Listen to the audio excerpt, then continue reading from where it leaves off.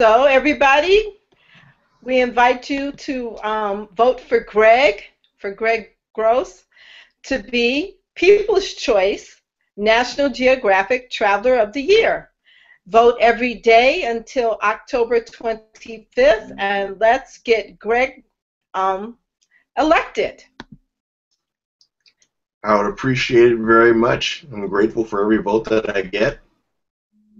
And even if you don't vote for me, I'm grateful that you take a look at the profile and hope that you'll come and visit the blog and get some benefit out of it.